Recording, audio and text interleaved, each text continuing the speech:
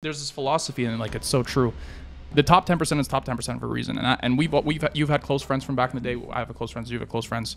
But the reality is if you're actually trying to level up and you want to become that 10%, inevitably the odds are not in your favor. You're not going to stick with the same close friends your entire life if you're trying to become that 10%. Yeah. Yeah. Statistically, 10%, 1 out of 10 people.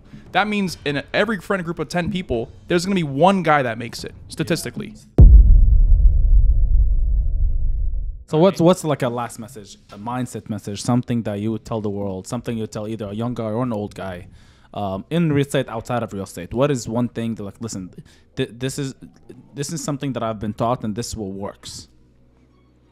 If if wherever the resistance is, go. I like that. Mm, Wherever the resistance is, go. If you're being told not to do something, do it. You Wow. Know? Um, that's what's got me the furthest in life. I was told not to do social media. I did it. I was told not to get into real estate. I did it. Mm-hmm. you were told I not was- to do social media. I was told not to join this brokerage. I did it.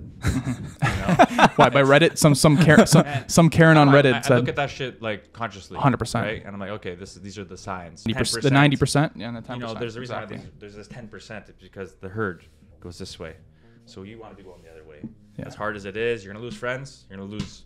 Yeah. You know, I might have conflict with family. So wait a minute, I like this losing friends one. Yeah. I like You're this. gonna lose friends. Have you lost friends? I've lost touch. Uh huh.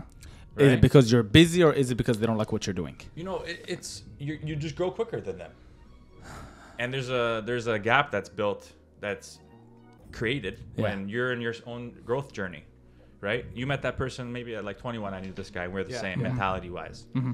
I'm gonna over the years I'm developing, developing, developing. If that person doesn't want to change, they're gonna be either um, it's like a subconscious feeling of th- threat, It's like a Mhm, threat. It's like look at this guy, or or envy, right? And there's gonna be Mm. some animosity after that. Naturally, that's just created. It is Yeah. what it is. It Yeah. just happens. So. It's unfortunate. Like your closest friends aren't going to be your number Absolutely. one fans or supporters. You know, so the true. most random people are the ones supporting you, Yeah. and I those are the people that are that you're meeting along that journey Mm-hmm. Yeah. right?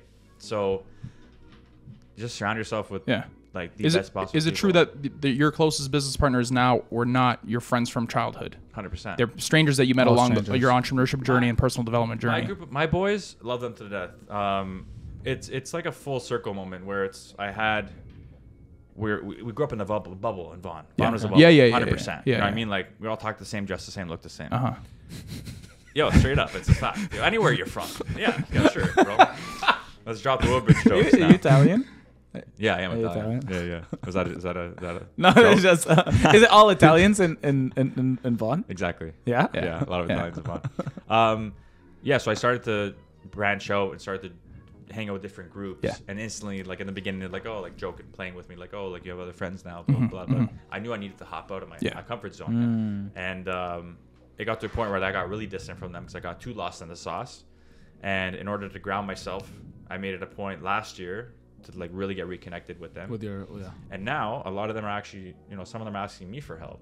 Uh, Because real Full estate. circle. no, in general, Oh, just, just- in life, just man. general life. and they because they they they're trying to make a change now too. Ah. So that's like it's really nice for me. Like it feels good because yeah, of here course, I am. to like help your people, I've, I've done it, and now I can show you. and now how I can show it. you. Yeah. Yeah. And I want nothing more than for these Right, guys. to- right, to right. Of course, succeed. you're- yeah. I'm the type of guy, bro. If I'm I'm making three billion dollars, I'm taking everyone with me in life. Uh, all my closest I people. love that, agree. man. You know what I mean? I agree. So um, Were some of the people Yeah. that are asking you for help now, were those some people judging you back in the day and told you not to do what you're doing yes, when you first started? 100%. Full circle. Yeah, Huh. Yeah. It's funny. That's pretty cool. yeah. Funny. Yeah. That's just life. Yeah, there, there's there's this philosophy and like it's so true. The top 10% is top 10% for a reason, and I, and we've we've you've had close friends from back in the day. I have a close friends, you have a close friends, but the reality is, if you're actually trying to level up and you want to become that 10%, inevitably the odds are not in your favor. You're not going to stick with the same close friends your entire life if you're trying to become that 10%. Yeah, yeah. Statistically, 10%, one out of 10 people. That means in every friend group of 10 people, there's going to be one guy that makes it. Statistically, statistically, you're not bringing all nine. Some people just don't want it that bad. Mm-hmm. Some people just don't have it like that. Mm-hmm. So you're if you want to get get somewhere, you want to make, build something big. Statistically, you're gonna have to move through friend groups, and people say call it social climbing. No, I want to I want to do something big. Yeah. People are And if you're not gonna man. come, people are gonna hate, they're right? gonna, they're gonna do whatever they can to bring you back down. Yeah, and you can, like you said, you can love you can love the guys, but you know it comes full circle. If you wanna if you wanna help them out and they don't they don't have it in them, you go be that leader. You go do something big, and then maybe you can help them out later, right? proof is in the pudding, man. You you get the most like these full circle moments happen when people that have chirped or said like, "Oh, like you're an idiot. Why are you doing this shit?" After watching you succeed, now they're like, "Hey, I want to be a part of it." Yeah. That's dope. Right? Yeah, it's just that that whole attraction. But I love when that life. happens. Yeah. honestly like uh, to me that's like one of the coolest things Yeah. when when you start seeing success and people around you like hey like the the idea and but by the way it, uh, I'll, I'll share the story I, I have a friend of mine actually I have a lot of friends that can I, I left in touch I was a very social kid like when I was younger I had like I, I'm one of these kids that had a billion friends Yeah. everywhere I go, I make friends, and I was just like, just make friends to make friends. At this point, I intentionally make friends uh, um, that would support my mission, I would say, or somebody that I can be supported in, in I guess, in their mission, um, something that can be beneficial for both. But I have a friend of mine um, that wanted to help in crypto, and this is like a couple years ago, right, right when the when the market was was going up, and um, he, his ego just wouldn't allow him to to do so, and he lost almost like 50 G's, man.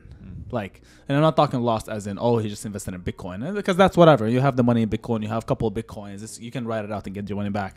I'm talking he just make some made some wrong moves. He traded some. Yeah. He like Bought Red put Bull. some yeah, about some BS stuff like these the BS coins. You know, like oh, this coin's gonna Yeah. go to this is go this is the yeah, next yeah. Shiba, and Yeah. it's just it's just money is completely gone, and um, like his ego didn't allow him to to ask. For me, I'm always an, an asker. Like if I don't know anything, I'll, I'll ask Oh. around. Like I'm I'm a guy that would ask for anything. Like.